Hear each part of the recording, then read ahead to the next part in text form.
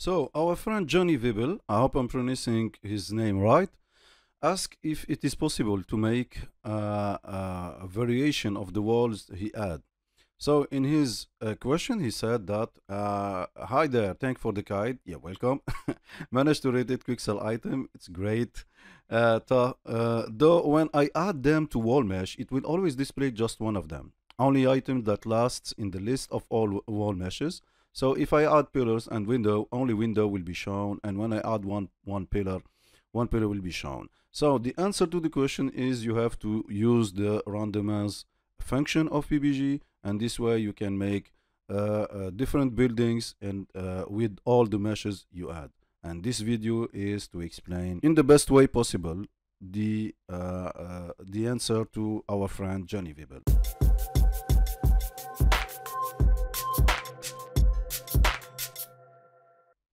PBG randomized action is an important function and feature of PBG.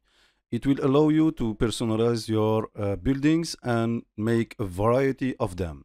So, uh, like you see in this uh, scene, I, in my PBG workshop, uh, I already done one PBG prefab where I do have a lot of meshes, and these meshes are the one you see right now.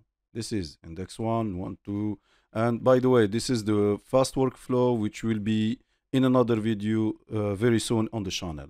So, uh, like I said, I have a number of wall meshes, and the way to make them appear in my building is to use the randomize function. So, I make a search for randomize on my prefab, and once you have typed randomize on the search bar, you already have all these variety of randomized functions. So you can randomize any aspect of your building, uh, assuming that you already put the meshes on the prefab. So let's see what we do have right here. If we check the randomized wall mesh, each time you click on the checkbox, you do have a different mesh, one of the meshes you already added to your building. And you can see each time I check the building, we change the wall meshes. The next function is you can randomize the right corner wall mesh if you do have a variety of wall meshes, corner meshes, and you can see each time I check the changes are made on the building. And this is the way to make variety of your prefabs of your prefab building. So each time I check, I do have a different aspect of my building, assuming you do have made changes. So right now you see I'm working on the wall material. So each time I check, the material change. So let's check a real example of my prefabs on a real project. So you can see right here that I already have I'm working on a project where we are using pre, uh, PBG for the buildings. And right now you can see that I have the same prefab. See, it's the prefab, the same one, over and over again on the city. And each time you can choose a different wall mesh to the, the buildings. And you can see this one is one a one window wall mesh. In this one we do have two windows wall mesh.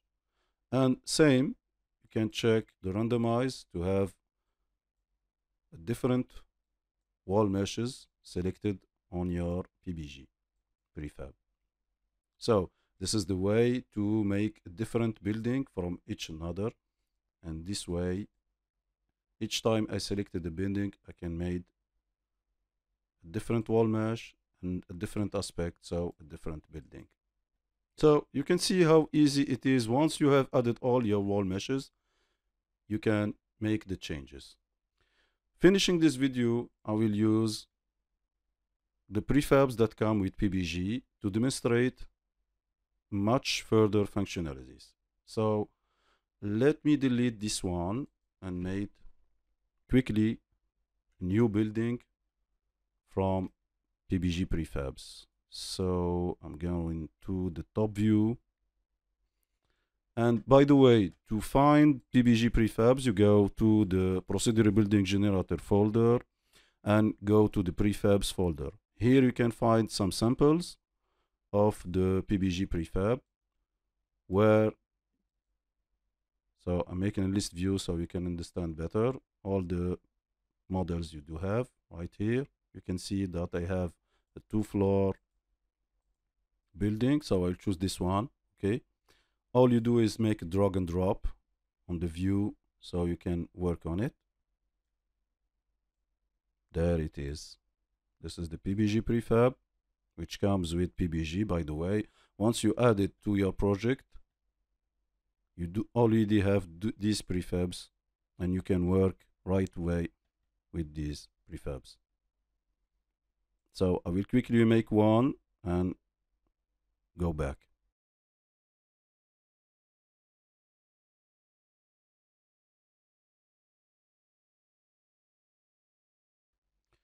this is the building which come with uh, the prefab which come with PBG. So it's based on the Soul. I guess it's in, in, the Soul City pack that you can find on the Epic Store. So just do a search for Soul City, and you can find the. Uh, no, sorry, this is not on this place. It's not on my vault, obviously.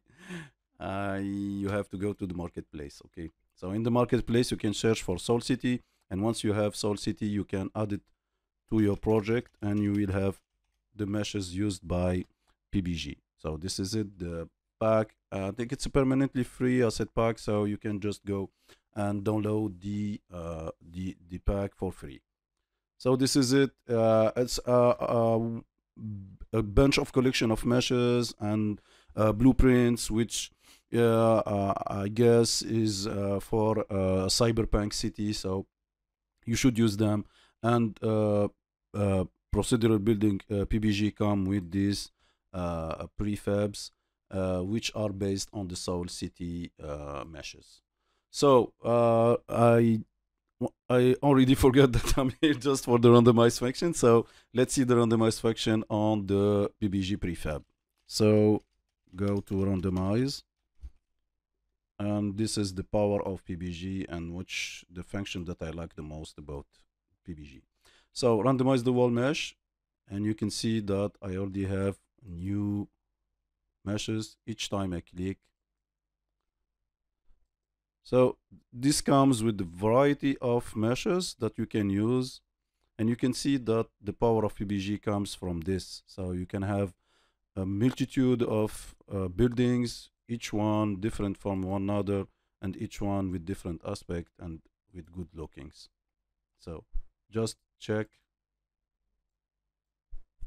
Each time you do have a different building so you can see that the building comes with three floors. So I will add for the block manager you can see number of floors on the index zero which is the basement three floors. And the number of floors here is one so I'm gonna put six so I have the better number of floors. And that's it. That's much better so right now I think I can make a better demonstration of this prefab. And you can see that each time you go to the randomized function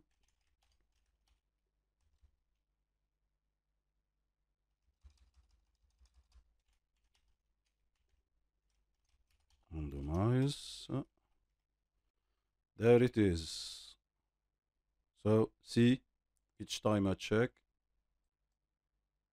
you can see that I do have different wall meshes and a different building altogether each time you check this one so I encourage you to use this prefab because uh, it's already there you can use it once you add uh, PBG to your project and I encourage you to explore all the meshes that come with the prefab so you can see the difference between.